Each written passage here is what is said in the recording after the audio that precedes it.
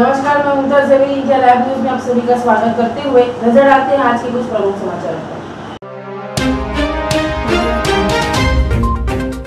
रफ्तार का कहर, आबू रोड से कुछ दूर गुजरात के अंबाजी जाने वाले सड़क मार्ग पर रोडवेज़ बस और बोलेरो जीप की भीषण टक्कर हुई। राजस्थान व गुजरात सीमा पर आबू रोड से कुछ दूर गुजरात के अंबाजी जाने वाले सड़क मार्ग पर एक भीषण सड़क हादसा हुआ। हादसा इतना भीषण था कि जीप के परछक्के उड़ गए। राजस्थान रोड बेस और बोलेरो गाड़ी की ज़बरदस्त भिड़ंत हो गई। इस भिड़ंत से हादसे में तीन लोगों की मौत हो गई। वहीं करीब पाँच से आठ लोग घायल हो गए, जिसमें चार लोग गंभीर रूप से घायल है। घायलों को प्राथमिक उपचार के लिए अंबाजी के अस्पताल में भर्ती करवाया, जहाँ से गंभीर घायलों को पालनपुर रेफर किया गया। घटना की सूचना पर गुजरात पुलिस मौके पर पहुँची और मृतकों के शवों को अंबाजी की मोर्चरी में रखवाया गया है। वहीं पुलिस पूरे मामले की जाँच कर रही है। राजस्थान के सिरोही से लियाकत अली की रिपोर्ट।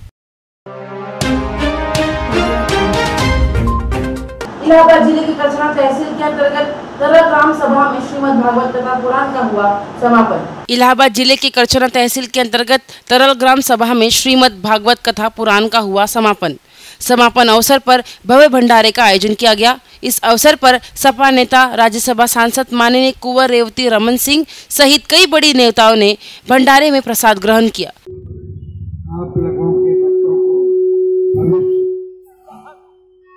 उज्जवल हो और आप लोग तरक्की करें यही मेरी कामना है। उत्तर प्रदेश के इलाहाबाद से मंगला प्रसाद की खास रिपोर्ट। रामपुर की सिविल लाइन क्षेत्र में पिता पुत्र की सड़क हादसे में दर्दनाक मौत हो गई। कहते हैं सावधानी हटी और दुर्घटना घटी। ये कहावत तो आपने सुनी होगी। ऐसा ही मामला रामपुर के सिविल लाइन क्षेत्र के सामने आया है जहाँ दो बाइक में आमने सामने से भिड़ंत हो गई जिसमें एक परिवार के दो लोगों की मौत हो गई। परिजनों ने बताया घटना पंजाब नगर के पास हुई। सुबह पिता पुत्र पंजाब नगर से दवाई लेकर चिकट्टी रामनगर को लौट रहे थे। सामने से तेज रफ्तार बाइक पिता पुत्र की बाइक से टकरा गई। दोनों बाइकों की भिड़ंत इतनी ज़बरदस्त थी कि मौके पर ही पिता पुत्र की मौत हो गई। हादसे की सूचना मिलने पर मौके पर पहुँची पुलिस ने शवों को कब्जे में लेकर पोस्टमार्टम के लिए जिला अस्पताल भेजा। उत्तर प्रदेश के रामपुर से सुरेश कुमार की रिपोर्ट। उन्नाव में दबंग प्रधान की कोटीदार के घर धावा बोलकर अवैध कट्टे से फायरिंग का वीडियो वायरल हो गया। उन्नाव की पुलिस महकमे में उस समय हलचल मच गई, जब फतेहपुर चेरासी थाना क्षेत्र के चौगवा गाँव में एक दबंग प्रधान के कोटेदार के घर धावा बोलकर अवैध कट्टे से फायरिंग का वीडियो वायरल हो गया। यही नहीं कोटेदार को डराने का प्रयास तो किया ही गया। साथ ही साथ दबंग प्रधान ने कोटेदार के राशन वितरण संबंधित अभिलेख भी फाड़ दिए थे। और कोटेदार को गाली देते हुए बोलेरो से पहुँचे। प्रधान ने अपने देशी कट्टे से फायरिंग कर दी। आप तस्वीरों में साफ़ देख सकते हैं कि प्रधान अपनी दबंग की हदें पार करता हुआ दिख रहा है। वहीं उसके गुर्गे कुल्हाड़ी लहराते हुए जान से मारने की धमकी देते हुए नज़र आ रहे हैं। थाना फतेहपुर चौरासी में गाँव चौड़वा पड़ता है। वहाँ का एक घटना है। कल शाम को साढ़े पाँच बजे की घटना है और इसमें एक कोटेदार के यहाँ से राशन लेने के लिए गए थे लोग बाग उसी गाँव के। और मूलचंद है, जैसा बताया है लोकल इंस्पेक्टर से बात होने पर मूलचंद की बेटी की शादी है आज। तो वो अपना शादी के सिलसिले में राशन लेने गया होगा और संभवतः कोटे वाले ने राशन देने से मना कर दिया या वहाँ पे जो कुछ भी बात रही हो तो उसी पे लेकर कुछ हॉट टॉक हुई कहा सुनी हुई। तो जिसकी लड़की की शादी थी, मूलचंद, इसके फेवर में गाँव का प्रधान है, ये प्रधान आया वहाँ पे और कहा सुनी हुई। तो जाते समय इनके जो कोटेदार है, इसके लड़कों ने गाली गलौज किया, उसी पर कोई फायर किया गया है। कोई घायल नहीं है इसमें, लेकिन हमने इसमें मुकदमा दर्ज किया है, लोकल पुलिस ने, और इसमें गिरफ्तारी कराएँगे। और अगर कहीं कोई किसी प्रकार को कोई लाइसेंसी असलाह का की जानकारी प्राप्त होती तफ्तीश में तो उसको भी कैंसिल कराने की प्रक्रिया कराएँगे। सर ये और प्रधान जो है पहले से हिस्ट्री सीटर हाँ। ये हमें जानकारी जानकारी प्राप्त हुई है कि प्रधान गाँव का जो है उसकी हिस्ट्री शीट खुली हुई है। हमने मुकदमा दर्ज किया प्रधान के खिलाफ में और जो भी साक्ष्य मिलेंगे उस साक्ष्य के आधार पर नियमानुसार कठोरतम विधिक कार्यवाही अमल में लाई जाएगी। Thank you. उन्नाव के पुलिस अधीक्षक हरीश कुमार ने मामले को संज्ञान में लेते हुए कड़ी से कड़ी कार्रवाई की बात कह रहे हैं और साथ ही ये भी बताया कि दबंग प्रधान के लाइसेंस से बंदूक का लाइसेंस निस्तस्त करने की कार्रवाई की जाएगी। उत्तर प्रदेश के उन्नाव से विनोद निषाद की रिपोर्ट।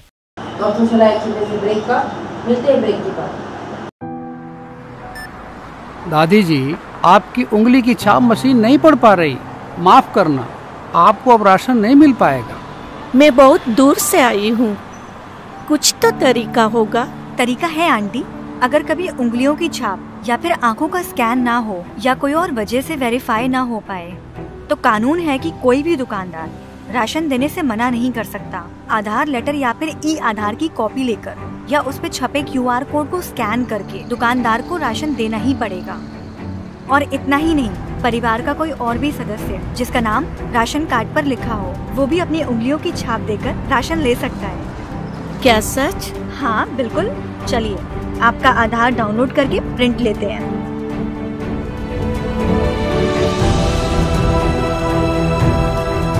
इसीलिए मैं हूँ आधार के साथ। मेरा आधार मेरी पहचान।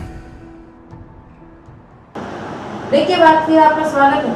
शारदा नारायण हॉस्पिटल मऊ की तरफ़ से स्वयं राजीव सिंह पुण्यतिथि पे गरीबों के लिए निशुल्क चेकअप कैंप लगाया गया। शारदा नारायण हॉस्पिटल मऊ की तरफ़ से स्वयं राजेश सिंह की पुण्यतिथि पर तमसा नदी भीटी पर उनकी याद में मूर्ति का अनावरण डॉक्टर सुजीत सिंह ने किया, तथा उनकी याद में गरीबों के लिए एक चेकअप कैंप भी निशुल्क लगाया गया, जिसमें ब्लड प्रेशर, शुगर की जाँच के साथ आँख की भी निशुल्क जाँच की गई। डॉक्टर सुजीत सिंह ने बताया कि मऊ ज़िले में तमसा नदी की सफ़ाई का अभियान चलाया गया था। उसमें मऊ शहर के संभारत वर्ग के साथ डॉक्टर पत्रकार, वकील, स्कूल के बच्चों के साथ सभी का बढ़ चढ़कर योगदान रहा। उसी में मेरा भतीजा भी बढ़ चढ़कर हिस्सा लेता था। परंतु काल के चक्र ने तमसा नदी पर उसकी मौत हो गई थी। उत्तर प्रदेश के मऊ से विनय श्रीवास्तव की रिपोर्ट। फिरोजपुर से कांग्रेसी विधायक परमिंदर सिंह ने अनाथ बच्चों को करवाई फन आइलैंड की सैर। फिरोजपुर से कांग्रेसी विधायक परमिंदर सिंह पिंकी ने राजनीति से ऊपर उठकर माँ बाप से पिछड़े फिरोजपुर के अनाथ आश्रम में रह रहे तकरीबन 200 के करीब अनाथ बच्चों को जिला फिरोजपुर के कस्बा तलवंडी भाई के नज़दीक मोगा रोड हाईवे पर स्थित फन आइलैंड की सैर करवाई।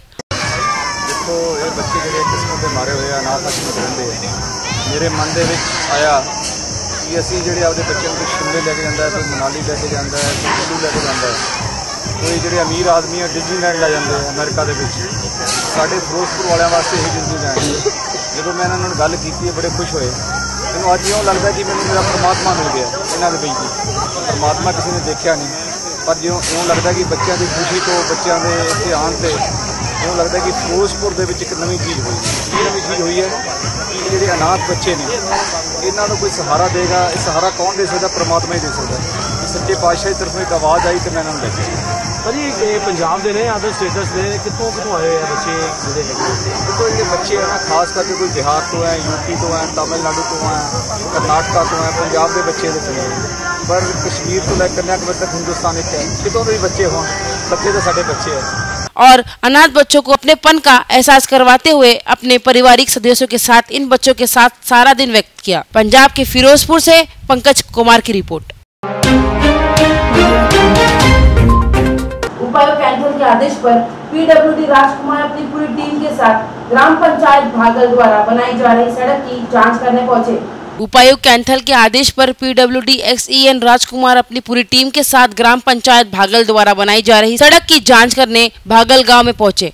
शुरुआती जाँच में सड़क में भारी खामियाँ पाई गई। शिकायतकर्ता बार एसोसिएशन गुला के प्रधान बलदेव पुनिया ने गाँव के सरपंच रामरेश्वर दास पर आरोप लगाया था कि सरपंच द्वारा सड़क में घटिया सामग्री का प्रयोग किया गया।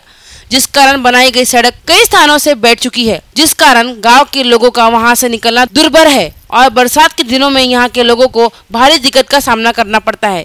मौके पर पीडब्ल्यूडी एक्शन दोबारा जाँच की गई तो उन्होंने कहा कि तो शुरुआती जाँच में क्या लग रहा है आपको? शुरुआती जाँच में देखने से तो इसमें कोई पता नहीं चलता। सैंपल ले लिए हैं और सैंपल लेके ये लैब में टेस्ट करवाएँगे। उसके बाद जाँच जो रिपोर्ट आएगी उसके आधार पर जाँच रिपोर्ट डीडीपीओ कैथल को दे दी जाएगी। सर आप बोल रहे हैं कि शुरुआती जाँच में कुछ नहीं पता लग रहा है कि जहाँ मिट्टी है यहाँ रेता होना चाहिए। शुरुआती जाँच में ये देखने में आया है कि इसी एक तो रोलिंग ठीक नहीं हुई और इसमें जो गट्टा डलना था वो कम मात्रा में है। तो आप मानते हैं कि कमियाँ हैं इसमें? कमियाँ हैं। तो सर क्या किस तरह की और कब तक सैंपल भेजा जाएगा और कब तक इसकी रिपोर्ट आएगी? इसकी विद इन वीक पर रिपोर्ट आ जाएगी।